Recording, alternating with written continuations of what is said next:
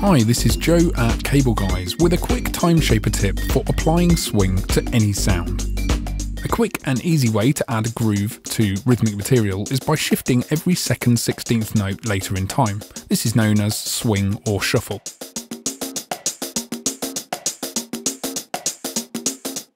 Swing is usually applied by time stretching audio or by shifting MIDI notes, but did you know that TimeShaper can stamp swing on any signal in real time? Set loop length to 1 8 Then use the line pen to draw a horizontal line across the second half of the wave editor. This delays the second half of every eighth note later in time. Shift click and drag to select the line's left and right breakpoints.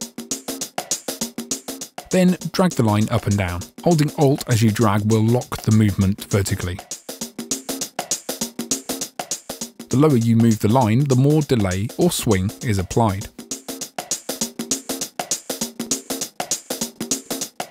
Small differences in vertical position have a big impact on the swing, so adjust this line in tiny increments until you get the groove just right. Applying swing with a plugin allows you to quickly A-B between your sound with and without swing. Turn TimeShaper on and off to compare the before and after.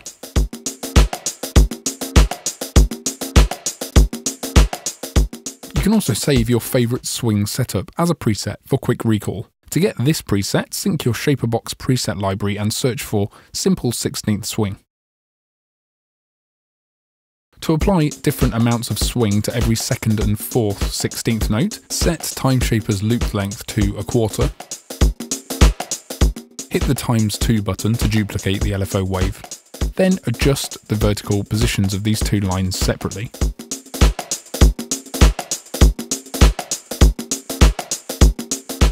Using a plugin like TimeShaper to add swing in real time has other benefits. You can copy and paste the instance of ShaperBox to other tracks and groups of tracks in your project. And you can quickly audition the same swing settings on different loops and sounds.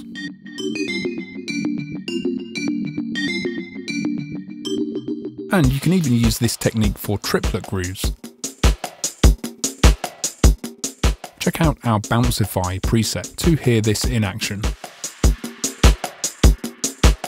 That's all for this video. Subscribe to the Cableguys channel for more tutorials like this, and if you don't own ShaperBox already, try the fully functional demo at cableguys.com.